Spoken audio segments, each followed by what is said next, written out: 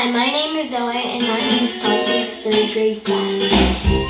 Today we're having a clothing drive.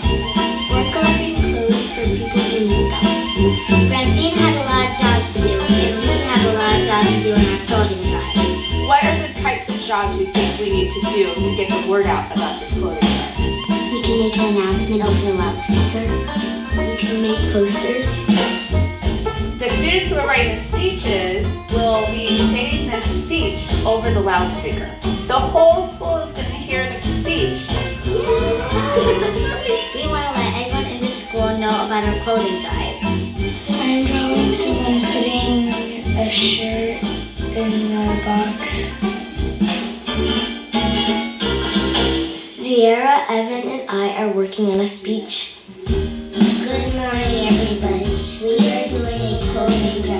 And then we made an announcement on the PA. Good afternoon, King's School. We have a special announcement from our third grade students.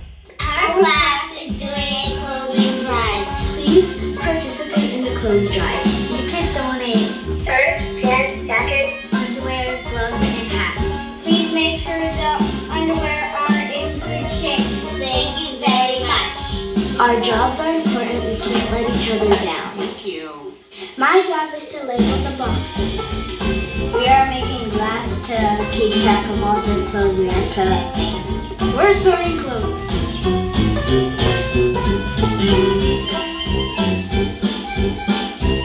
It's fun to have a job when you know you're helping people.